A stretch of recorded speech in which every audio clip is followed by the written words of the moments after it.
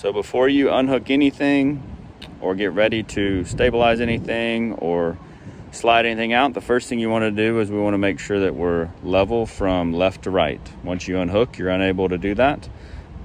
And we want to check that out before we unhook. So the first thing you want to do is if it's locked, we'll unlock this one over here on the left-hand side. If it's not locked, which it's not already, come over here and we will turn this, open it up.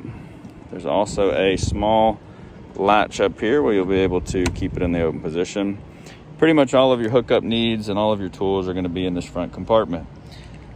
Inside the front up here, I have some small magnetic levels. Uh, this is the perfect thing to make sure that you're level side to side before you actually go to unhook. So up here on the front is the tongue of your trailer.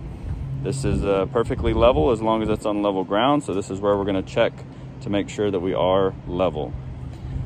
If you come up here and look at the front where you actually hook everything up, there's a flat spot right here. This is the best spot to put the level. Right here where this magnet is. So we'll set this on top of the magnet. And if we look at it, we can see right now we are not level left to right. Whatever side of the level the bubble is on, that's the side that we're gonna have to uh, go away from. So right now we need to pick up, looking at the trailer from the front, we're gonna have to pick up the right side.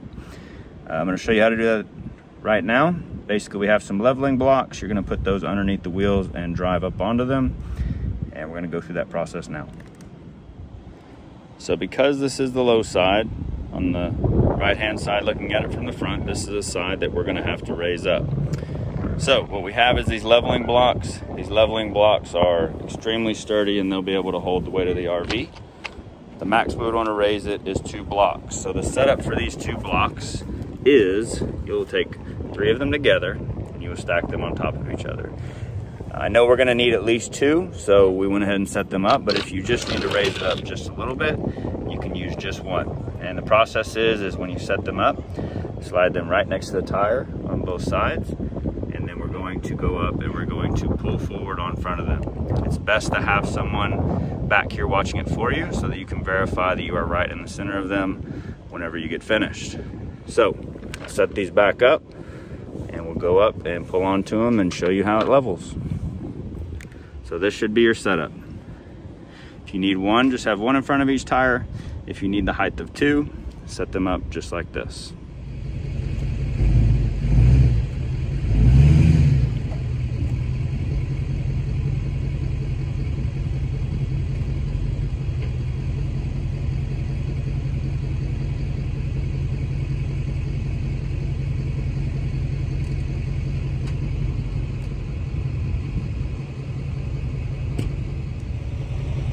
So for this part, it's best to have somebody there to watch this for you so we can make sure that we are in the center of these leveling blocks. That way we won't have any issues with anything moving and sliding off while you're moving around inside of the RV. So now we'll go back up here and we'll check out the level, make sure we did what we needed to try to accomplish here. So coming back and looking at the level, we can see now we are pretty much right in the center. So everything should be level. It's very important that this is level. There are things like the refrigerator and drains and all these other things inside the RV that won't work properly or as needed if it is not perfectly level.